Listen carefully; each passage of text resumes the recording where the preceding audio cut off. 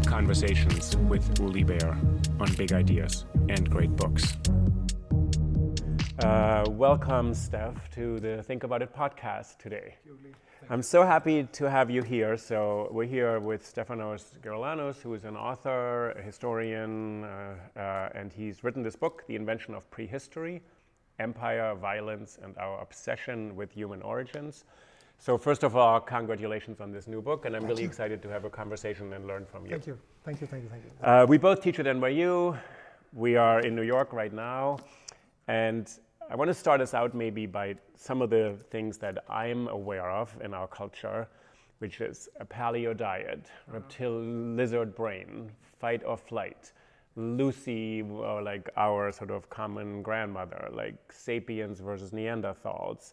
Um, innate aggression versus cultural aggression, tools make the man. All these ideas that have dinosaurs, like where we come from, that it informed who we are. And I want to start out by asking, why did you write a book on prehistory, this mm. moment in time that's kind of lost to us, that, but everybody for the last 250 years seems to have been so invested in recreating and bringing to life in a completely exciting way. Right.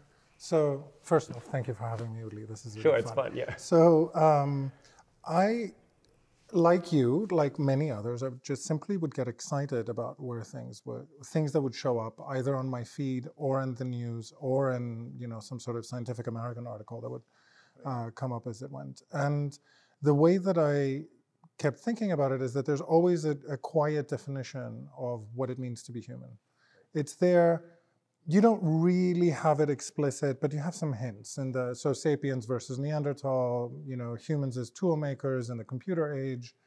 Uh, what else did you cite before? The lizard brain, which was particularly popular in 2016 with Trump's election. we all come out of Africa in- Exactly. in, a good, thrilling way. We share something, or in a way we've escaped some other state of being. Exactly. And so there, there was a way in which I kept thinking, I can never tell in all these publications how much of this is coming out of serious science Right. and how much of this is coming out because it's a concept that's used. And somehow with you know, with little moments that I was studying for totally different reasons, I just kept thinking the politics of this is very strange.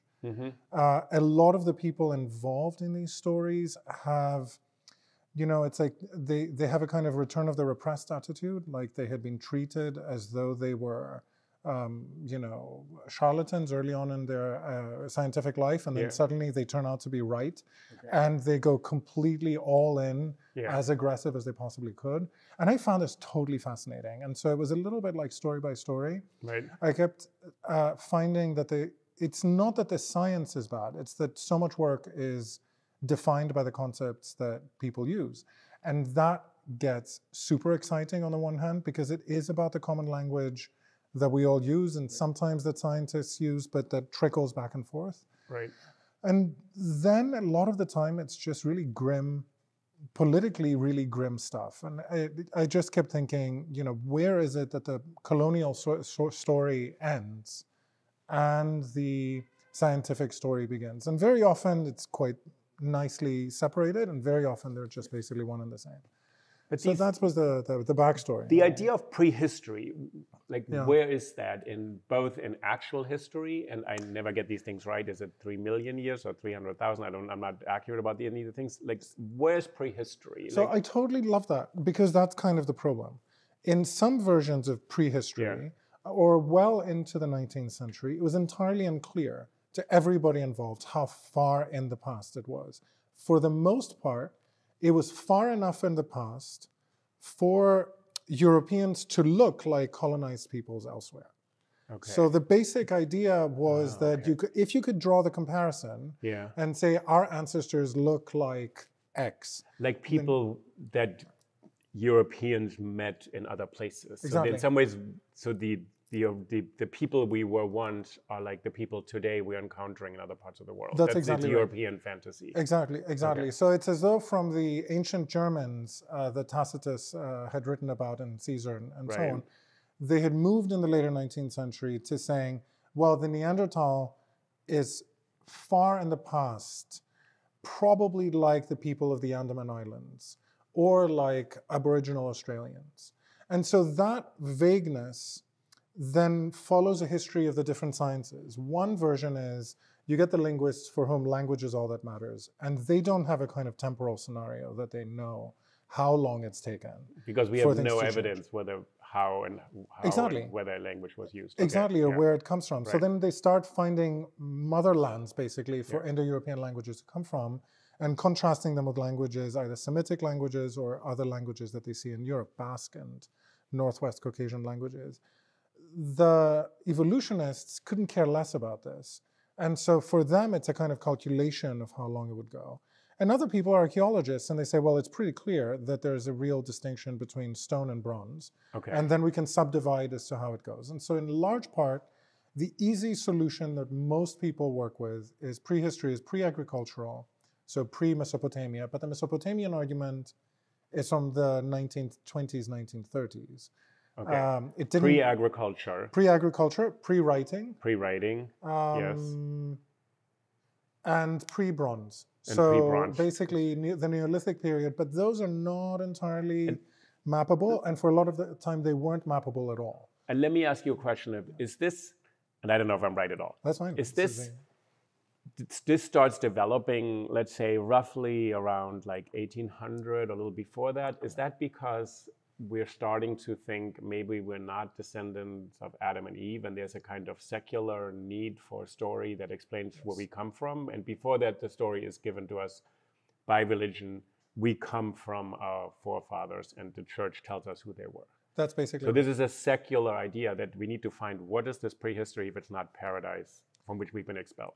That's exactly right. So there are Okay. ways in which religion and religious people try to negotiate this. I Right. find the negotiation really interesting. Really interesting, yeah. But for the most part, this is basically a secular idea. But they It's- move, to, let's say, the religious people, and in your book, you kind of leave them behind in a way. Yes, and, And- maybe unfairly, but it- for the most Yeah, part, they're left behind. Yeah. But it's sort of the discussion you, you're chronicling. It's 250 years of people debating, and it's funny in a way that they're arguing about who we were once Yes. with a huge amount of fervor and passion. Yes. Like I Melissa Schwartzberg the on here on Rousseau, Yes. which I really like, and I always teach that kind of this idea, which, I, as far as I know, he never used the term noble savage himself, Yes. Rousseau, but this idea that we were once more innocent and then property becomes the problem. And there are these moments when we used to live in a certain way and then something is introduced or we invent something and then we get corrupted or we become who we are today. Right.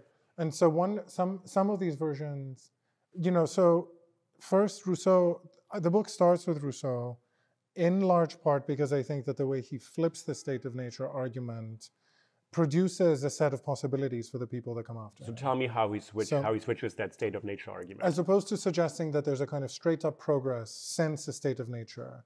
State of nature is, I don't use so much the word innocence as, as a kind of, there's a kind of purity yeah. uh, to it.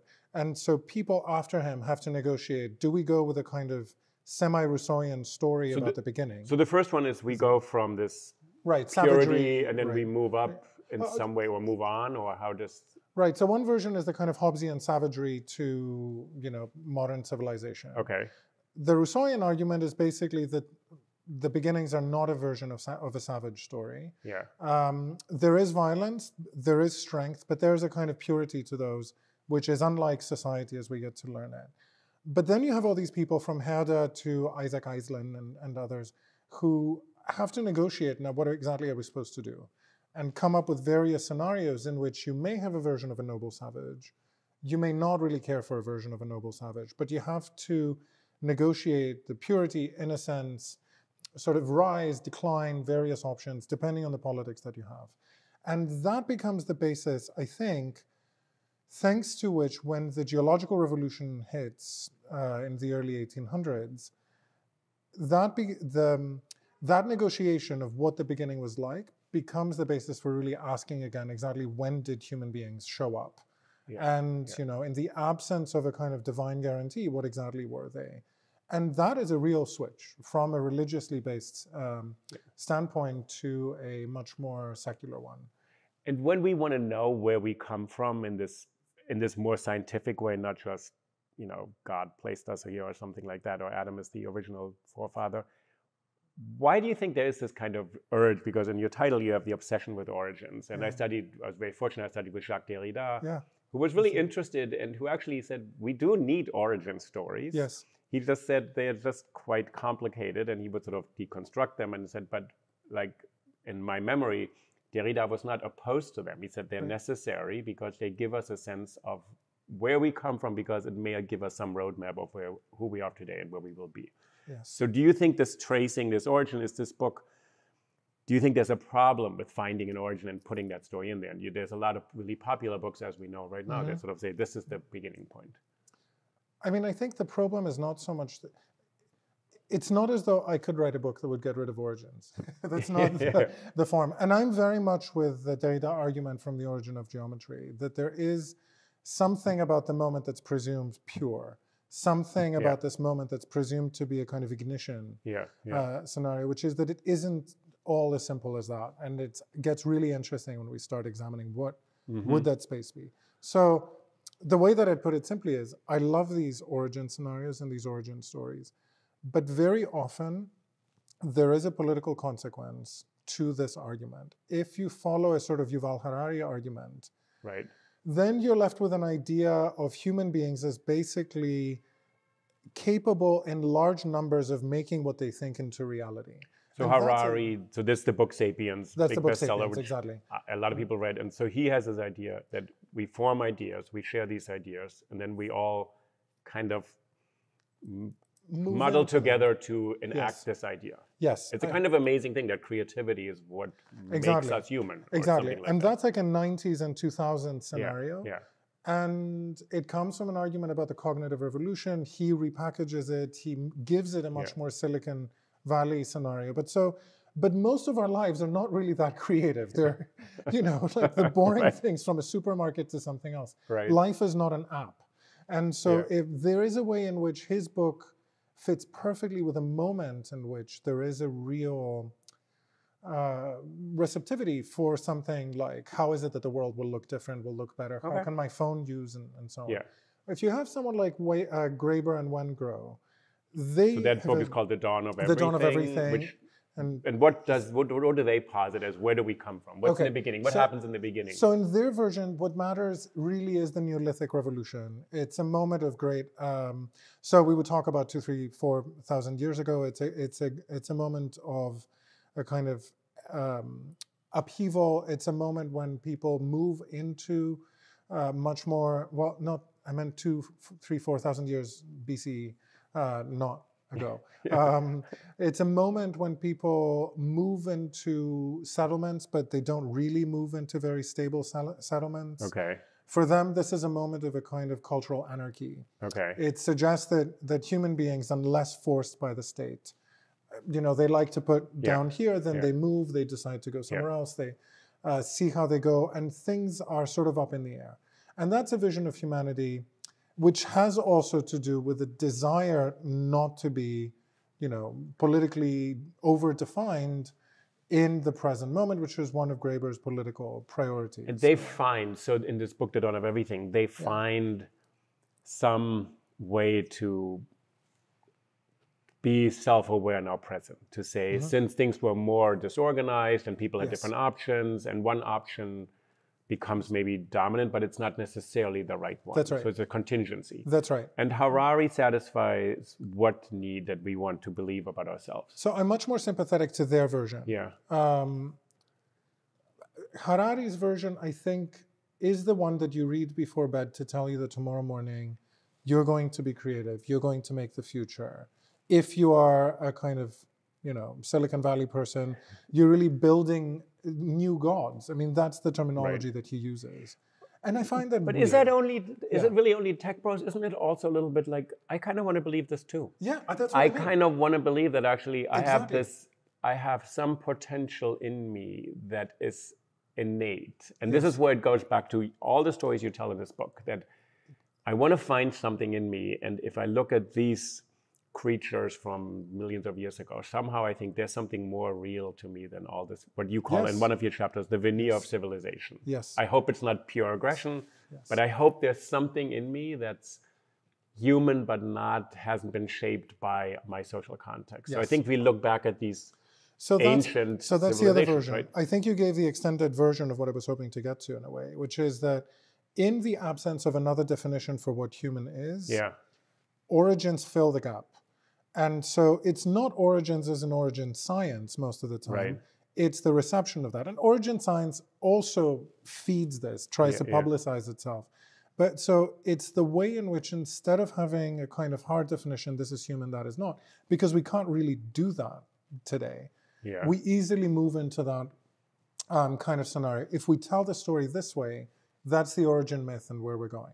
And I totally want to believe that I'm at once anarchic, super creative, and this and that. But there is a way Wait, in which you could say, Do you want to be anarchic, super, super creative? Super what, creative, from what else do we have? What would you like to believe, like in some Oh, anarch- And this is not you as a scientist, but sort of say, because your book is really about this investment we have, and in uh, some ways, what I loved about the book that you think there's a bunch of natural scientists, paleontologists, historians, lay people, archaeologists, all these people dreaming up things. There's some stars in here, like Darwin, Yes, Freud, big names, but that everybody sort of household names, but they satisfy something. So you want to be anarchic, self-creative, there because there is a pot- there's something positive. That's what I want to get Yes. to first. Before like, oh my God, we have all this. These stories are producing bad politics. They're also producing something else. Yes, I think that there's a way in which several of the stories tell us that the world could indeed be different. Yeah. That we could Yeah. uh, c- contribute to something that's both scientifically rigorous and politically transformative. Okay.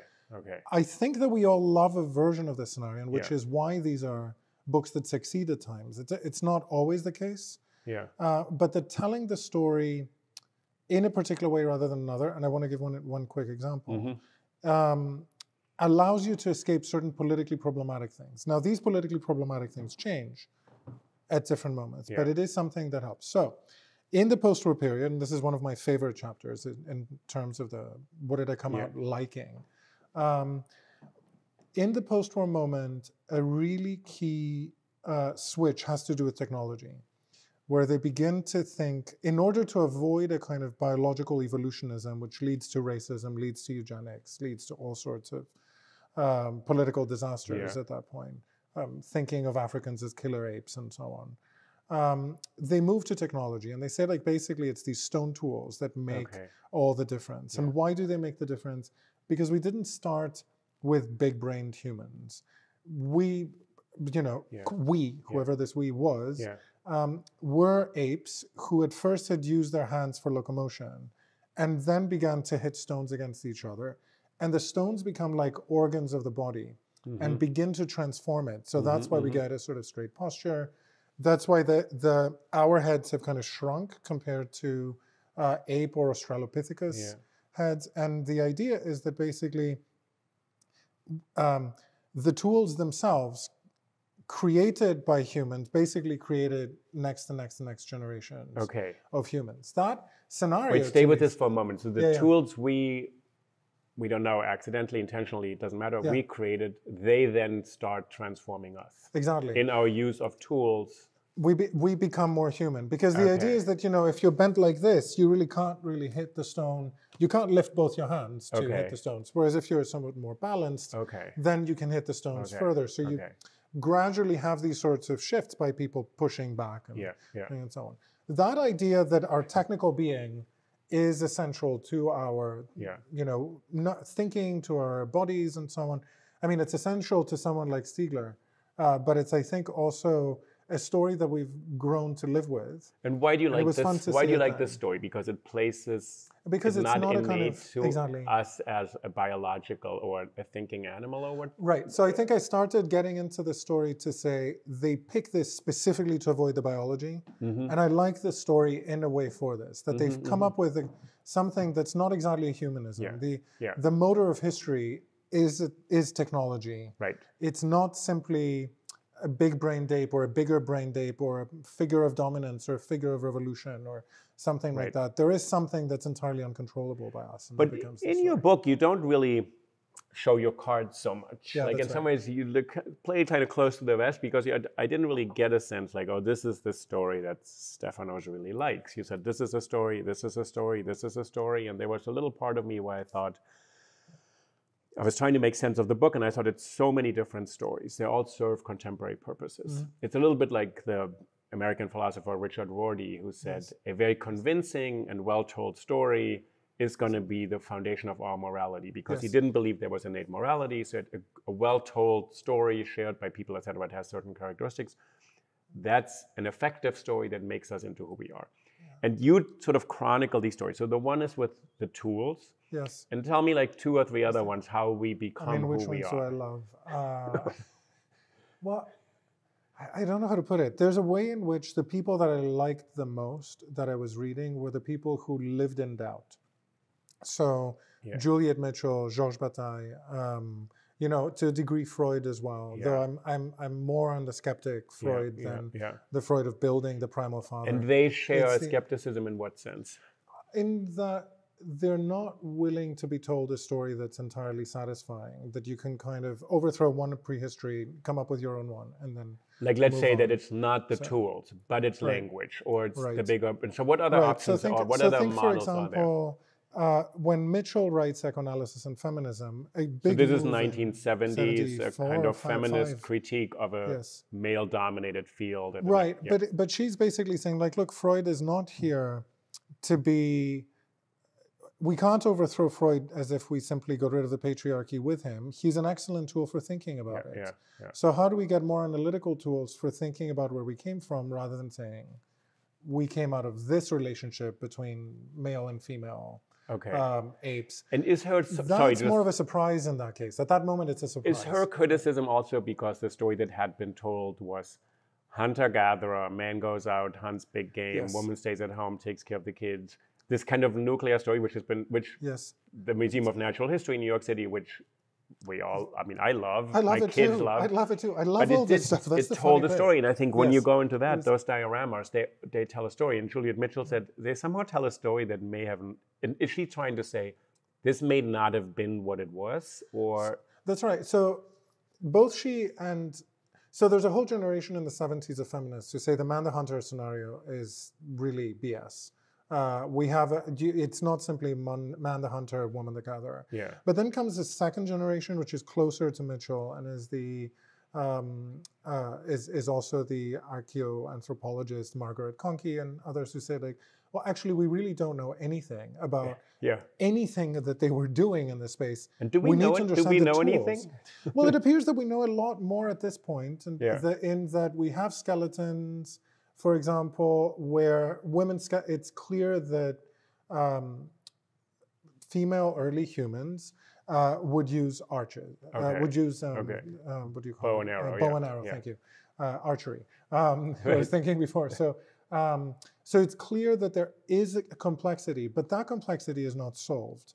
Yeah, Uh, it doesn't get reduced to something easy, and it doesn't mean that geographically it's not very different here than it is over okay, there. okay. So, or even among different ethnic groups.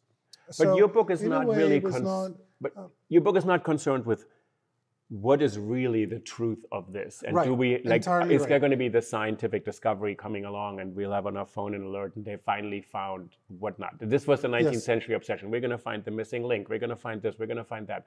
Your book is not about that. Your book is more like there's evidence and people will create a story out of that or a Yes. theory right yes, and you're saying this story will change it. serves and then the story the story will change. But what's interesting to me is that people will go to do the next bit of their scientific research with that story Oh, in so- mind, okay and some of that Yeah. story will get perpetuated. Yeah And sometimes when they overthrow one story, they Yeah. will move straight into another story they had overthrown only very recently okay because the options are very limited. So it's true. I And- didn't write the book to get to what the truth Yeah, would be yeah. because then that would be kind of recreating what everybody else is doing. I was more interested in, and I am much more interested in, uh, how is it that people think?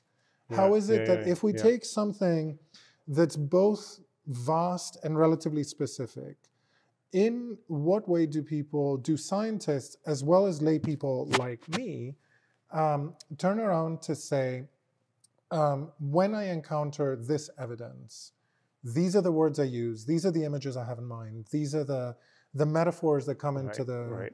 uh, into place. Like these ideas that travel that we don't know that they travel, uh, or we don't notice that they travel. And we don't notice because these concepts or images or ideas are there sort of part of our vocabulary and we're not aware that someone created them because they seem intuitive to us by this point or I think that's right. they just That- become so there's a kind of intuitive scenario. So I have one example. I remember an article in the um, New York Times maybe five, six years ago, yeah um, in which they had found a new hominin on an island in Indonesia. And so the scientist uh, that they're speaking with is, is describing it's a fascinating setup. And at the end, someone says, Well, how did they get to this island and this island alone? And someone in the group responds, Well, we think that they were washed off, you know, some other island and ended up here, maybe during a tsunami. And I was- think it's a novel by Daniel Defoe called the- Robinson yeah, well, Crusoe. I think So I've read it. that- my reaction was like, wait, this is great. It's kind of amazing that they could. Statistically, it's impossible. There's no possible way that somebody could, that you could have two, you know, not, not to say more of a particular species that end up there.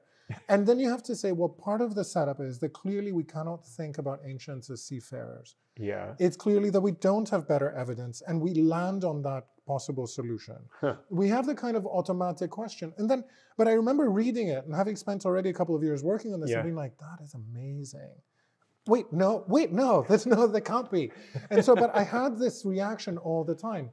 They, you'll learn things like, you know, Neanderthal genes are responsible for nicotine addiction, obesity, and this and that. hmm And that sounds, it's like you nod ahead. And at some point you have Mhm. to say, well, also responsible is the fact that I smoke or that I eat Oh, right, or that this okay. is the kind of culture I'm in.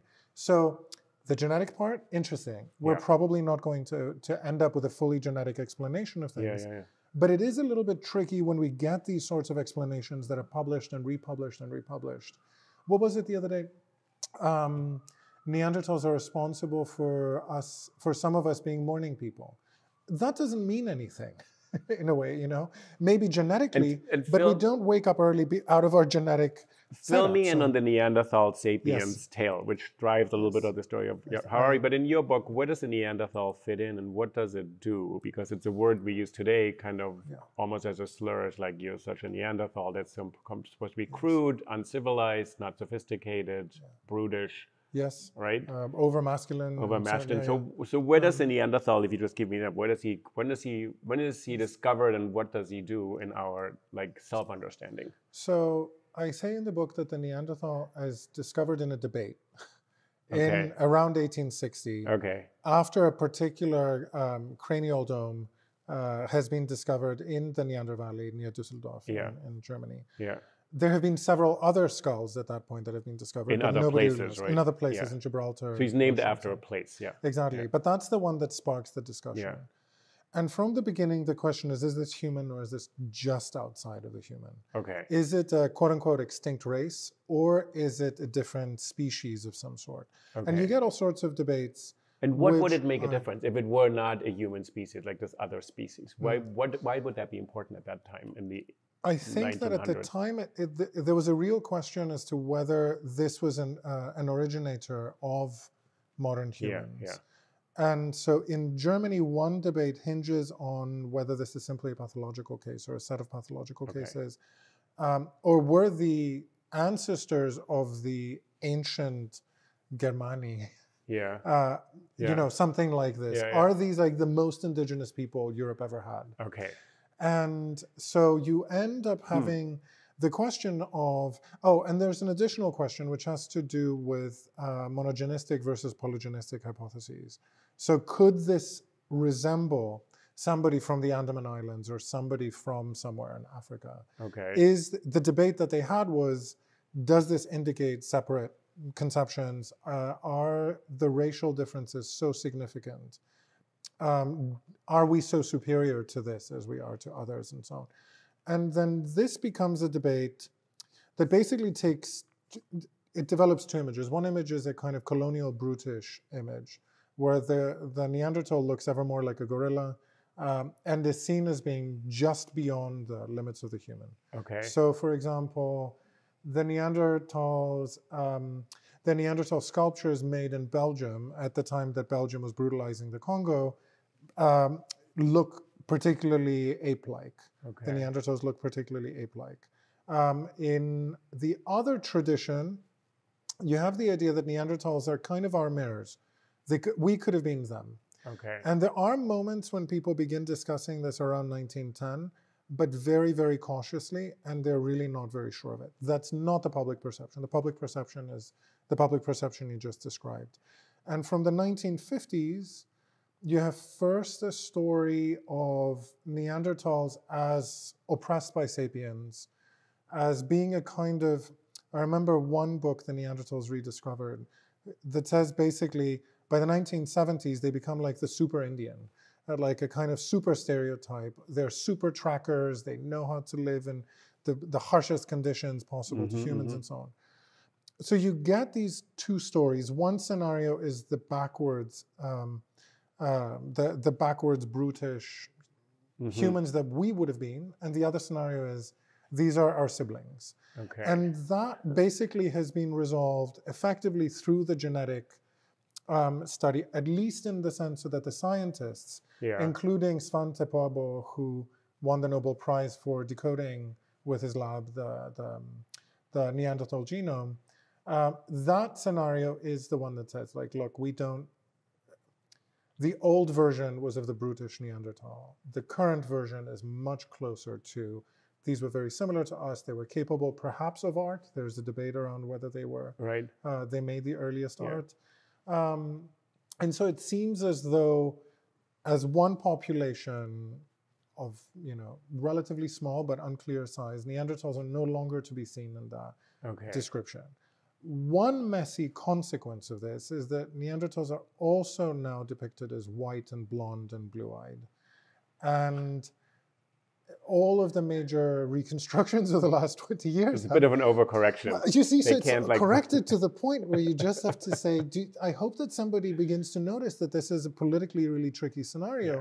Because then you you Yeah. look online, which I unfortunately had to do to make Yeah. sure that this was the case, Right. and people will say, "Yeah, how did diversity work for the Neanderthals? All these Africans came in Oh, and killed Yeah, them." And so there's a or mated with them and swamped them. There are scientific papers that refer to gi- uh, genetic swamping. Yeah. So you have to end up at this point of just saying, we do need a measure of doubt to go back to the, the earlier discussion, Yeah. and we do need a scenario where we can't be saying we.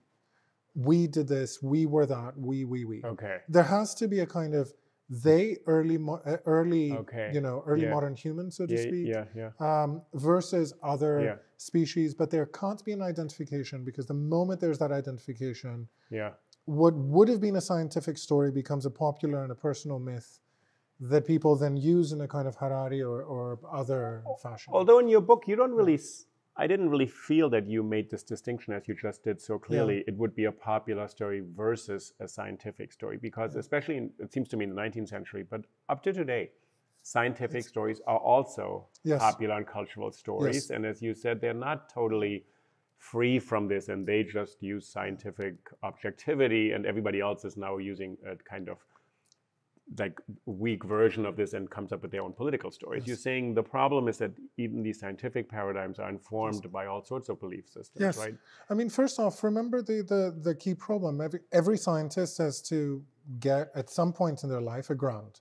Yeah. In the grant, they're not going No, to they used say, to be the, like know. uh, sons of rich families. Well, yes, there that was that. maybe that was I a different that- story. I think then. that was the way they did it in the 19th century. but now it's but now the scenario says, you know, we need to study these like finger bones, right? Yeah. You're not going to write. I, I've written grants too. You're not Yeah. going to write at the end. What will they show me? What the you know second knuckle was like. You're going to say it tells us something really essential Right. about the advent of tools and the Yeah, yeah, advent yeah. of humanity. Now, when you enter that scenario, Yeah. you've already brought in all this this Okay, yeah, yeah, outside yeah. world. I don't think that there's a strict discri- distinction. Also, because we have quite different sciences in operation. Mhm, mhm. So geneticists are not doing the same thing as archaeologists are, Mhm, are doing. Archaeologists are not doing the same thing as you know geologists are going to end up working in, or Mhm. as other people who do neuroscientific work, et cetera, et cetera, et cetera. And these people are not doing the same as you would get in a museum. And in a way, it's a complex of sciences out of which there isn't exactly a very straightforward story that Yeah, comes out. yeah. It's not a simple solution. Now, that's not a bad thing. That is a good thing. We Yeah. don't need to be acting as though we need a, a, a Yeah. version of like, here's how we solved all the problems in one yeah, in one fell swoop. and in the process of this, a kind of popular language is going to creep in, even if you're trying to be really rigorous. Right. Again, that's not necessarily a bad thing because you need to be translatable to to people. So that becomes a kind of curiosity. What I'm trying to say with all this is that I'm not, I haven't written this to say scientists are horrible or that they're wrong or this or that, nor that scientists are good and people are horrible, but just to say that there is a dynamic that is often really troubling. And just as we need to be, you know, concerned about other troubling Yeah. matters in life, Yeah. this is a dynamic that's also to be we, we also should be concerned with and that dynamic is one in which old theories survive even weird old theories survive. Hmm um, theories that have relatively little scientific purchase Mm-hmm. survive and thrive. Hmm and at the same time scientific theories have to exist and learn to exist with this kind of language that is not simply theirs. Hmm hmm um, this is what it means for us as humans to be wondering who we are as humans. But unfortunately, it also means that we can't help it at times, but create these long stories in complete ignorance of the politics Yeah. that comes with it. Part of what I wanted to also to do with the book was to say, I don't think that anybody's paying attention to how profoundly problematic even our heroes in these stories are. Mm. So the problem is not to say, you know, Darwin was a eugenicist, therefore begone Darwin. hmm Good luck with that. hmm Um, the problem is to say, And good saying good luck because it seeped into their culture. And even if we say will in this shorthand, which is not really productive, we Yeah. cancel Darwin. Darwin is already sort of actually shaped subsequent thinking in a way that we can't even really Exactly. trace. exactly. Yeah. So even, and at the end of the day, whatever we do with Darwin, Yeah. Eugenicism is all over uh, contemporary culture. We thought it had been gone, and it's and, and it's come back. In how do you mean? In what sense? I mean, first off, in, in far right, in various far right political Yeah. schemes, yeah. that would be one scenario. I think the other scenario where we get, accept genetic explanations for things is a real problem. So this, like, Neanderthals tell us that our weight issues are because of that. No, they're because of a social system. And do you think there's a we live. problem to substitute this idea, oh, we are this way Yes. because here's the proof, this old story, these people used to do this. And you're saying it, it sort of takes away the need to analyze where we are right now, what our conditions Exactly. are. So instead of say, like, look, I'm kind of, I get really easily angry because, and that's probably because my ancestors three million years ago got angry a lot. Or Yeah, sure. I can't but resist that's still a sugar thing. because like I learned this from, you know, Michael Pollan or something like Yes. that. Like because when I find a bush of berries, I have to eat all of it. Yes. Because I Yes, used to live in the savannah. So you're mm-hmm. thinking this absolves of, of some current responsibility? Exactly. I think that's the problem. I think the problem is that human beings now have virtually no, are, are virtually incomparable to human beings 100 years ago. So that's a big takeaway. much more from a very long Yeah. time ago. So that's a big takeaway of the book that you're saying we need to study these origin stories. I also do believe we need some stories of where we Sure. come from. It's important to us because to be totally adrift makes people not very comfortable. Um, then you're saying we are so different from the people, these our so-called ancestors. We are so different, much more different than we can imagine. That to sort of create this this story, this Yeah. developmental story, whether it's decline or ascent, it doesn't matter. We go up or we go down. We come from there. That it has not very little to do with us. exactly right. But it does Yes. fulfill this. And the, I wanted to go back to one thing about the political uses of this. Yeah, yeah, yeah. I actually felt in some cases they were also good things because they Yes. revised the story and sort of it's not only, but it is a really important part. Kind of let's say the feminist critique of a kind of male-centered uh, paleontology or something that was productive. So in some ways, you can say the origin stories are not just they all lead to horrible conspiracy Oh, sure. theories sure, or sure. they also lead to other things because they liberate us maybe to thinking, oh, we could be different Yes. maybe the whole story was wrong and maybe actually there is something in me that I didn't really know yet. Yes, and that's why I was sticking. That's why, in a way, I was keeping my cards close and sticking with the doubters uh, Yeah, at this. yeah. That the skeptics, in a way, allow me a position where I don't have to say this. I think is what Yeah. you know. This, whatever I propose is going to be bunk within 15 years or so. Right, right, right. But so I do think that there are politically positive things that can come out of it. I do think that we are essentially cyborgs in a way that you know ancient hominids were not. Uh, you know, maybe they were in some relation to the tools that they used or the clothes that they made, and right. so on and so forth. Um, but you know, our food comes from every item that's on our table comes from a different corner of the world. Um, our relationship to our screens uh, is dramatic enough as to possibly someday have physiological consequences, Mm-hmm. um, to put it very vaguely. Um, Mhm. Our capacity to communicate with people and to, you know, our, our, our capacity to drug our bodies and to add various uh, replacement bones and so Right, on eh, are right. so massive Yeah. that that is a different lifespan, a different relationship to life, a different, you know, capacity to create than yeah. they would have had. Right. Now, it doesn't mean that that's a good or a bad thing, um, yeah. but it is a fact Yeah. of it's a it's a certain fact of life, thanks to which we need to be able to not say we when we refer to that Okay. antiquity. We'll get better stories with a little bit of care, with a little bit greater care. Yeah. Um, and at some level, we might start to ask it's not like we're not asking it, but we're not going to get an easy solution. We're going to uh, have to ask how do we live 200 years into the future as the cyborgs and energy users and Mhm. you know environment destroyers that we are it may not be the po- the the horrible politics that we Mhm. know of Mhm. of you know the colonial period that I discussed, or the Nazi period, which Mhm. similarly I think had everything to do with the way that the Nazis imagined, or at least Hitler especially imagined, uh, Aryan Semitic uh, Mhm. origins. We may not be there, but the environment situation Mhm, is not mhm. exactly doing that great, and is not exactly about to do any better.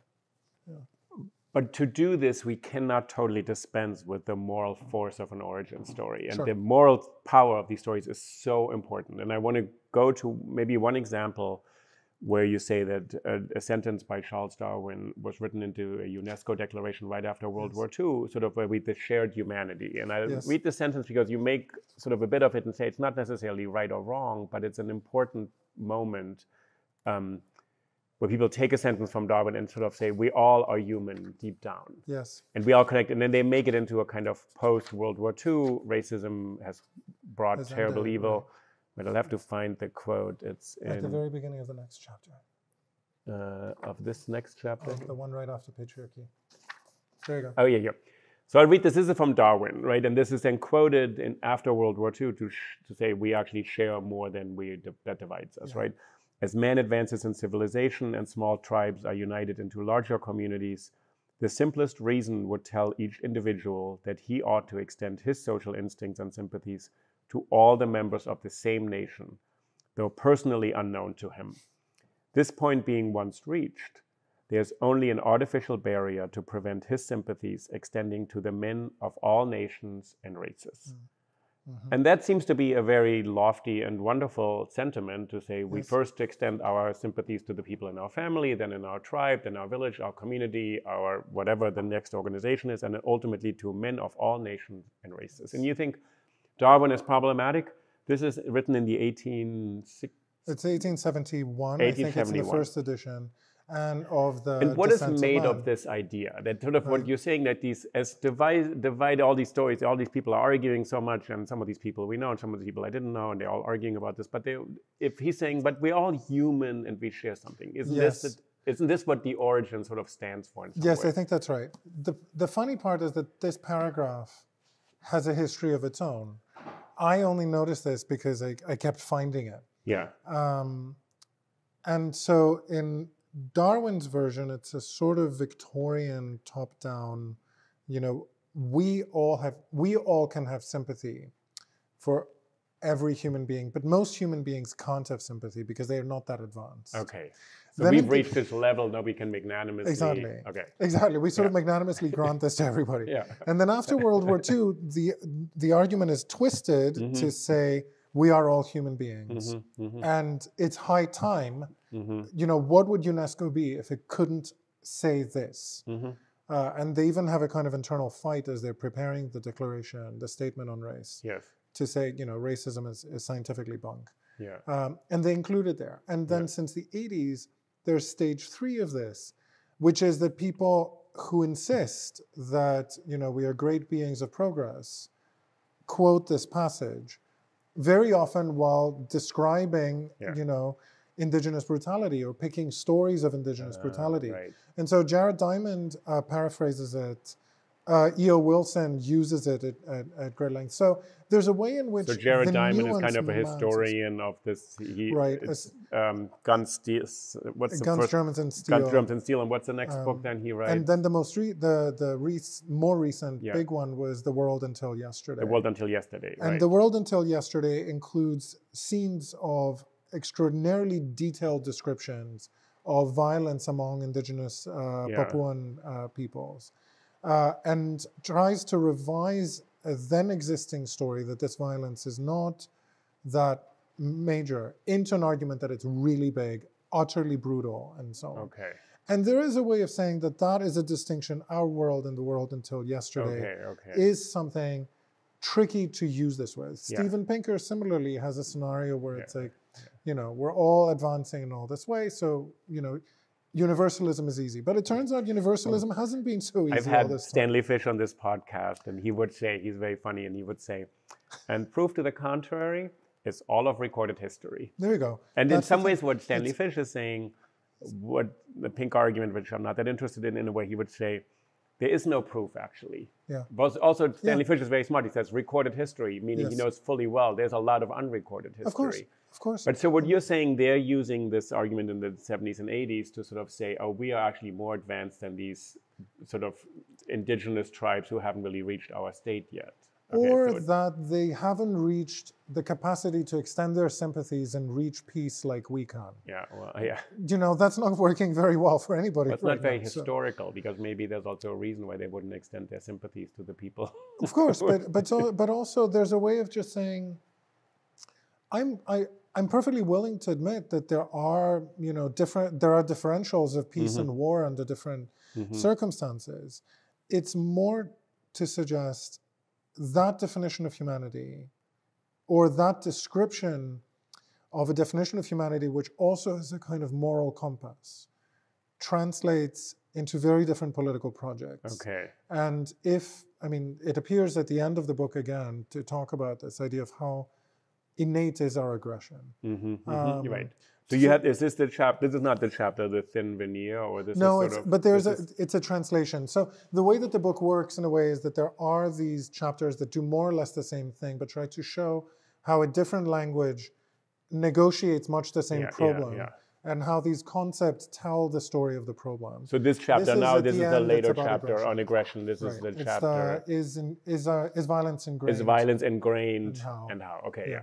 So that's the scenario. It's to say that there are multiple options, there are multiple ways of using these chapters. I recently learned that, you know, for example, Lech Walesa used it, same passage. It's, it's one of these Okay. moments that people, that are easy quotations Yeah, and yeah, easily yeah. used because the sentiment sounds excellent. Right. And we don't really think, you know, you use this expression and what you mean is other people can't extend their sympathies to the rest of, Okay. of humanity okay, itself. Okay. Um, but when the debate comes in, you know, um, then there can be more tricky, mm, difficult right. cases. So I think there are many, many definitions all through the book where seen on their own sound great. Seen in context sound more complicated, Mm-hmm. sometimes more promising. At other times, they have a kind of promise that's closed off. That's among the things that I find really interesting.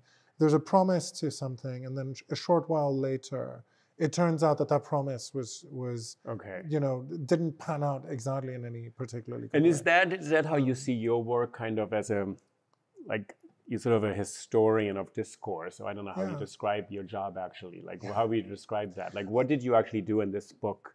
Sort of, sort of. I mean, it's a bit academic, but like, what's the genre of this book? It's like a history of histories. I mean, I think of yeah, I think of it as a history of concepts and expressions and images that that live on. yeah, yeah, And it's not only a, so it's not only it's not a history of paleontology, that's for sure. right, right, Um, but it is a history of how people think about themselves and about their yeah, origins beyond the national level. yeah. That's the way that I would that I would put it. What I was trying to do was to say what we think we are doing. So at some basic level, it's very structuralist, I suppose. What we think we are doing is so determined by the language that we use mm-hmm, that mm-hmm.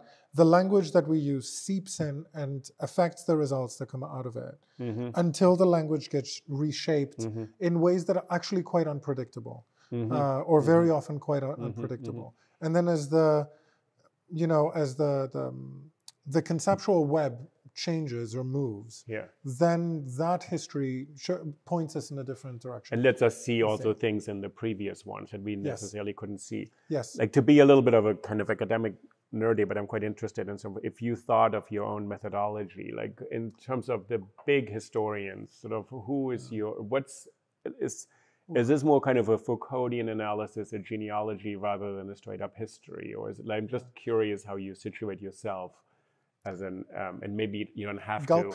to. Uh, gulp. yeah, so. no, you don't have to at all. But I, I, I, actually, and I'm asking this also for a reason because, you know, we both teach at NYU, and. I have a lot of students who are sometimes to my surprise, actually rather interested in these kind of methodological debates of the 70s, 80s, and 90s. Of, yes. Is, is this I more like a Hayden White approach? Is this a Foucault yeah. approach? He said it's structuralist, but structuralism sort of is it going yeah. to the dire- direction of more right i mean i don't have an exact scenario the, yeah. way, the way that i would describe it is that there's a mixture you know how roland barthes used to say that he doesn't have um, I don't have a method, I have habits. The man who had the method, so to speak. I, I, sort of feel like I have habits, and some habits are um, I admire a conceptual history of the style of Koselleck or of Georges Canguilhem, where there are one, two, or more concepts that are related to one another. Okay. Um, two, I do admire a Foucault style history of, not exactly history, but if, uh, a study of discourse which has a genealogical set of that changes over time, let's say, uh, but where you also study the human sciences and dimensions of power. So that would be the second. Remind me because I've done, yeah. I, but like it's been a while. My Foucault is you know like rusty, but like his approach is not historical. He wanted right. to make a big distinction. He said mine is genealogical. Yes. What's the difference? I mean, at one level, the way that I would put it is that in the early work, there is a there's a much thicker, denser episteme that is much more determinant of knowledge as it is. And yeah, so the question yeah. are the the epistemological premises rather than the actual results found. But so it's not it's okay. not the results a scientist finds, but the premises that they begin with. Yeah, that yeah. I'm very close to. I feel very much yeah, the yeah. the pool of historical epistemology in that in that regard. The way he writes a history of the birth of the clinic or yes, discipline or, punish or these stories like yes, or the switch in you know between let's say old. Um, versions of sovereign power to then disciplinary and securitarian yeah, economic yeah, power yeah, and so on in, in, that set of lectures. But you're looking at kind of how concepts, images, metaphors yes. are mobilized, used, adapted, changed, transformed, disputed, exactly. but not necessarily are they true or not. And that yes, wasn't that wasn't Foucault's interest as much. Like he said, it wasn't like they were right, they were wrong. Right. He they, goes into the, the, whole argument of truth telling later on right. and what that the, is at stake there. I try to simply balance. It's not whether they're true or not, because I, I don't, at some basic level, I want to leave it open that things that appear untrue now yeah. and resoundingly denounced in a decade, maybe back right, right, with right. a vengeance. It just happens too often. So there's an element of that of the Foucault, there's an element of the concepts and metaphors. So that's Koselleck, Canguilhem, and really Blumenberg at some level. I've ended up with a deep admiration of this idea that metaphors are you know, if not even, even if they don't precede concepts, that they cohabit a certain world with the concepts. Okay. Uh, that's why part of the book is expressions, not really. Yeah, He's yeah, committed yeah. to expressions, not really right, concepts. Right. Um, I, am somewhere between all this. I tend to describe this the, these projects as a mixture of a history of concepts and historical epistemology. Yeah, yeah. On on what principles did people know what they knew? Yeah. Or did people know yeah, what oh, questions right, right. to ask? Not what answers they would get, but what they took for granted. But I like this on what principles do they know what they know, yeah. which is kind of not quite epistemology, but we do know things based on principles that we're not necessarily aware of or they're so exactly. intuitive or we were taught. I also exactly. feel the book is kind of a sort of exciting story, intellectual story, and I think in, you write in the introduction or in the credits something, you've been teaching a class at NYU for quite a long time that has changed over time. Yes. And can you say like one word maybe of how your students or sort of how they, because I think we're all like, I mean, I love Jurassic Park. I like things like that. You know, I do like Black Panther. Like, I'm like, there's a certain kind of investment in various stories, and we all grew up. Some of these pictures, the picture on the cover of this book, I grew up with this image. That's the thing. Like, I saw this, and I somehow can, and I'm very cathected as a, I feel like a child again in a kind of excited way. Like, wow, this is they Hunter the Mammoth. I really wanted to include several images like this, yeah. which people would kind of be like, "Oh, I know this." And you actually show yourself once in the book when say you yes. and your sister watched some yes. TV show. Like exactly. once you show exactly. up with your sister, you say, "We watched a show about like some." Like it took me years to find man. out what it was. It took me years to figure oh, out what but it was. But you had it in your mind. I knew. I mean, I knew the images right. so clearly uh, from it. I I remembered the burial of the Neanderthal. We are talking 30, 35 right, years right, ago. And how did um, this teaching so, inform this book? Because it's a very like your style yes. is really like i actually am really full of admiration for your style for the following reason that you're very generous and you say these people some of them may just be kooks and completely off and then you say sometimes really like sort of slightly ironic like freud was wholly unoriginal in this it's kind of a compliment and also not like yes. you don't trash people you yes. don't say they're all off you say yeah. someone writes a deceptive hodgepodge we won't name yeah. who that is and these are yes but, but how does the te- how did the teaching inform the writing of this book because this is really not a strictly academic book. Right. So um, we did all the theory part, and I uh, made every effort to hide the theory uh, in the book and not to write with it because yeah, it matters yeah. to me that this be readable. Yeah. Um, there were multiple ways in which the lectures. Um, so I did this one class that was in the core curriculum, and that's a required class. It's a required eh, college class. NYU students. Yeah. Yes. So it's not like all students took it, but a number of people, eh, yeah. about yeah. you know 120 students for several years. Yeah. And one was, you know, in an obvious way, the questions they would ask or the response papers that they would yeah. write. Yeah gave me a sense of what it is that I wasn't aware of, or yeah. I wasn't aware of what you know. I didn't know I didn't know. Okay, Again, right. Okay, that's I wasn't. Yeah. I wasn't. You was yourself not aware that maybe you were exactly. You your thinking was based on premises that you didn't even know. Yes, exactly. Like how did you get there? I thought like, oh, this is an easy solution, or I would right. give a lecture and then. Yeah. People would ask particular things, and then students would also often say I, that they. So often they would say something quite different than what I'd expected. So the whole discussion of shamanism oh, yeah. in the chapter about cave paintings, um, I had not even noticed, having shown cave paintings, yeah, yeah. that there are moments in, in, there are moments of discussions of shamans.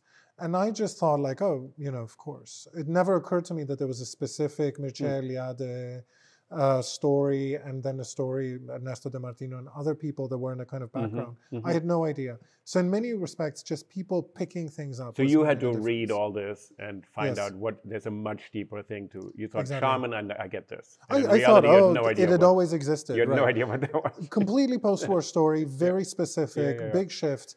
Even with my editor, at some point he said, "Oh, you've been saying that this is animism and shamanism since the beginning," and I thought, "Oh, I really don't get it. It's very particular." Yeah. But there was a real way in which the stu- where the students had made a difference, which is that I had started writing this book as an academic book, and it was getting unwieldy. And I wrote an essay that was twenty thousand words long about something extremely specific that basically gets three sentences in the okay, book. Okay, wow. It starts how. Per- yeah. And at some point, I realized this was not going to to work. Yeah, but yeah. what I did do um, is I recorded myself lecturing. Okay. In order to create, so I prepared the PowerPoints mm-hmm. and I recorded the lecture that I was giving mm-hmm. with very few notes. Mm-hmm. I would have the quotes, I would have particular elements. Sure. But the idea was if I transcribe this recording, yeah. then does it sound like I'm not talking yeah. in a thoroughly academic right, fashion? Right. Am I talking? Just as we were saying on another occasion, to somebody who's 18 to 20, yeah. has had a year of college. Like Al, a student right here. Hi, Al. NYU student. uh, Senior, however, much more sophisticated. Yes. yes, yes, yes, yes. But that, but that was the idea. It was like if you didn't care to know much more about this, if you came to it right. out of nowhere, yeah, um, could you actually read it? But that's on having, you then to explain basic. enough to keep it interesting be correct. Yes. But keep on translating into several ways for someone who's not an expert to understand that. Exactly. So you do this here and you're very deft at sort of saying, this is the way they're thinking about it. you can think about this way and you can follow along. So it's, you're Yes, telling a story. Actually. You're very kind, but that's basically yeah. the way that I wanted it to be. I wanted it to be a scenario where people just thought you could pick it up somewhere Right. in the middle of the book and just play with the next 20 pages. I'm going to ask there. you another question about this book. So we'll end with this origin fantasy. So you now have the, you're going to be the cyborg, you want to be in 200 years. You have the capacity to travel back in time. You go to some moment in this prehistory. What is the one thing you really want to know? What did they do? What did they not do? And you'll have you have a five minute moment, and you can be a safe witness to some scene. What do you want to see? Oh man! Wow, wow! I want to see the cave painters. Do you want to see the cave painters in action? The one thing that I love Really? more than anything, I, I, you know, I, it's, it's so peculiar because I, I tried to come up with why is it that this is happening? Why am I so moved by these Okay. cave paintings that I've never seen the original of, by the way? But you saw the Werner. Herzog movie recently where he thinks they invented cinema. I love the movie until the end when somehow they're all cinematographers. And I'm like, But the, I don't know if that's what they are. But anyway, see, But so there- you want to be in Lascaux, you want to be inside I want to be in cave. Chauvet and just torches. see what it is that they're doing, what it is that they're excited about. Why is it that they? Why does it move them? Yeah. Because at some basic level, there was a period when nobody was making art, and then there was a period when people were making Okay. this. I don't know that this is art because Yeah. I also think it, it's unfair to give it the term already. Okay. It's it's it's Yeah, our term, but I, but I'm so utterly fascinated and moved by these works. Works which sometimes are, you know, they will paint a bison, and the shoulder of the bison will be in the part of the wall that's protruding. Um, Right. In other cases, Yeah. I just saw in a in a Prehistomania show in Paris. It's called Pre, Pre, Prehistomania uh, at the Musée de l'Homme. You see some versions of the cave paintings, and you realize that the auroch in one case, or a bison or a horse, is inside the cracks of the wall. Like there's, they've kind of made sure that they fill it to a corner, but it feels trapped as though it can't break out of it. That sort of thing, Yeah. I'm really moved about. So give me five minutes. Can you visit any of the that. caves today still, or are most of them closed to There are very few who are where you can visit. There, Yeah. um, Combarel, for, I, not Combarel. Ah, I will make this. Uh, I will not get the right one. Yeah. Uh, but you can visit a couple. You can visit rock paintings in the rest of the world. I've uh, seen petroglyphs in Australia. There you go, and I was very fortunate. I went Yes. to uh, to Arnhem Land and uh, Kakadu Island, and I saw some petroglyphs. And so that's that. There's that's something- but, uh, But I think there is something to think that people, someone made this, yes. and in some ways made this. I what maybe I don't know if this is what you feel, but they communicated something about themselves and their world, Yes. and it's very amazing that they communicate, and we can Yes. receive this communication. Yes, we can receive something of this communication, yeah. and I can't know what, but I can, you know, I can't know what comes with it. So that that indeci- in, indecision, I suppose, is one, but also the sheer idea of what extraordinary involvement, traditions, what must have been generations of painting, and, Right. and uh, scraping into the wall and so on, would have gone into at a time when hunger was real and in ways that would be impossible to imagine Right. right. um, today. And it's also, you can visit like Lascaux 2 and Lascaux 3 even, and then Chauvet 2 and so on. Okay. But that's not quite the same thing because, as you know, a, a cave has an almost singular feel to it. You go into a cave and you know the humidity, the dankness, the the kind of smell of the cave, the breath of it. Every cave is different. Mhm, mhm. You can never quite have a sense of what this was supposed to mean or what the cold or Right, and so on. right, so right. I'm fascinated by this almost secular holy of holies that comes out of these caves Huh. and the immense aura, the hold that they have yeah, on yeah, me, Yeah, yeah, which I cannot at all explain. I like your Benjaminian moment. Very nice. You're like, there Is are it time really? sort of like there's this old history Yes. right in front of us. Yeah. Yes, so thank you. Steph. Thank you so much, Uli. The invention of uh, prehistory, empire, violence, and our obsession with human origins on the Think About It podcast and video. Thank you, Al, for Thank you, filming Al. us today. A couple of references we had today Rousseau, Foucault, Darwin, other people. The other episodes of the podcast. And uh, congratulations on this beautiful book. Thank you so much, Uli. Thank you. This was perfect. Thanks. Awesome.